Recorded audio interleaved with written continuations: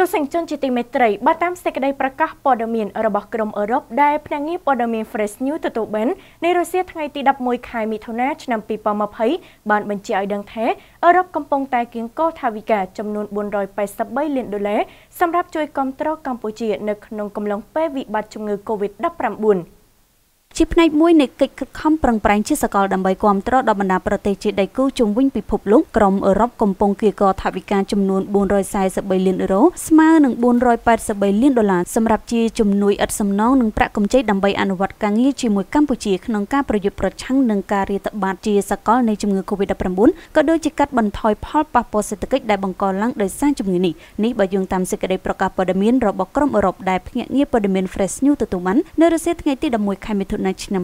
2020នៅក្នុងសេចក្តីប្រកាសព័ត៌មានបានឲ្យដឹងទៀតថាក្រុមអឺរ៉ុបគឺជាក្រុមដែលកើតឡើងដោយមានកិច្ចខិតខំរួមគ្នារបស់សហភាពអឺរ៉ុបជាមួយរដ្ឋជាសមាជិករបស់ខ្លួនស្ថាប័នហិរញ្ញវត្ថុនិងទីភ្នាក់ងារអនុវត្តនានាដោយការរួមចំណែកកម្លាំងជាមួយគ្នានេះក្រុមអឺរ៉ុបផ្ដល់ជំនួយហិរញ្ញវត្ថុនិងជំនួយបច្ចេកទេសដ៏គួរឲ្យកត់សម្គាល់ដើម្បីជួយកម្ពុជាឆ្លើយតបទៅនឹងតម្រូវការចំពោះមុខដើម្បីការពារក្រុមដែលងាយរងគ្រោះជាងគេដើម្បីកាត់បន្ថយផលប៉ះពាល់សង្គមសេដ្ឋកិច្ចដែលកើតឡើងដោយសារវិបត្តិដែលបង្កឡើងដោយវីរុសកូវីដ -19 នឹងត្រៀមខ្លួនដើម្បីស្ដារឡើងវិញលោកស្រី Carmen Moreno ឯកអគ្គរដ្ឋទូតសហភាពអឺរ៉ុបប្រចាំប្រទេសកម្ពុជាបានថ្លែងថាការរាតត្បាតជាសកលនៃវីរុសកូវីដ -19 ទាមទារឲ្យមានកិច្ចសហការប្រតិបត្តិការនិងសាមគ្គីភាពក្រុមអឺរ៉ុបរួមគ្នាឈរជាមួយកម្ពុជាក្នុងពេលវេលាដ៏សែនពិបាកនេះ យើងត្រូវធ្វើការងាររួមគ្នាដើម្បីធានាឲ្យមានការស្ដារសេដ្ឋកិច្ចឡើងវិញប្រកបដោយចីរភាពនិងរឹងមាំក៏ដូចជាជួយកាត់បន្ថយផលប៉ះពាល់ដែលការរាតត្បាតជាសកលនេះបង្កលើជីវិតមនុស្សការងារនិងជីវភាពរស់នៅរបស់ពួកគេលោកស្រី Carmen Merino បានឲ្យដឹងទៀតថា